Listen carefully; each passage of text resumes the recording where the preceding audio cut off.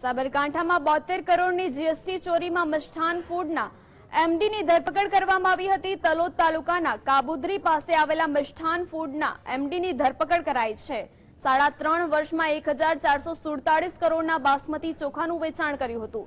વર્ષ બે હજાર સત્તરના બે જીએસટી નોટિફિકેશન થકી જીએસટી મુક્તિનો ગેરફાયદો ઉઠાવ્યો હતો. ગાંધીનગરની સેન્ટ્રલ જીએસટી અને સેન્ટ્રલ એક્સાઇઝની ટીમોએ તપાસ હાથ ધરી હતી. પંદર મહિનામાં વીસ સમન્સ પાઠવ્યા હતા.